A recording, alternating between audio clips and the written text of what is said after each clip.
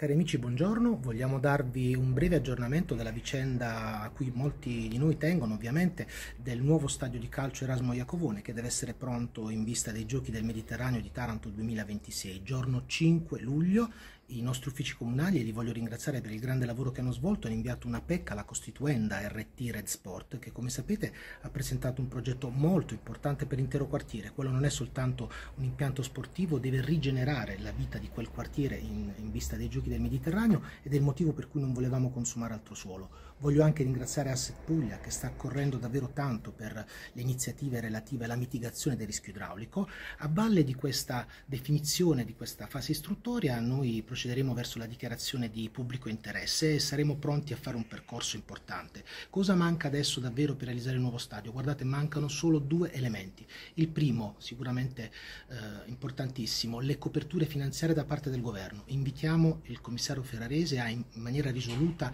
a consentirci di procedere speditamente con, con i soldi del governo e a provvedere alla provvista che era stata in qualche maniera già definita eh, dai precedenti governi. E poi serve un'espressione chiara di aderenza al progetto da parte di chi?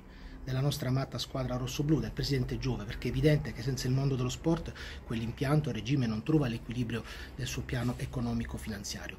Fatemi aggiungere altri due elementi soltanto. Perché dobbiamo rifare lo stadio ex novo?